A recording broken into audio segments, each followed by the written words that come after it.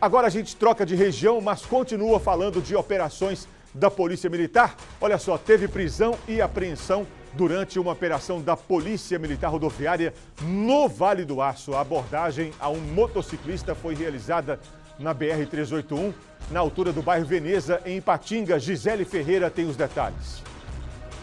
Saulo, a polícia realizava uma operação no bairro Veneza, aqui em Ipatinga, quando abordou o suspeito que estava em uma moto. Com ele, durante as buscas, a polícia conseguiu encontrar 30 porções de maconha. Ele disse para a polícia que era para uso próprio, mas que comercializava o entorpecente pelo WhatsApp a 35 reais cada porção.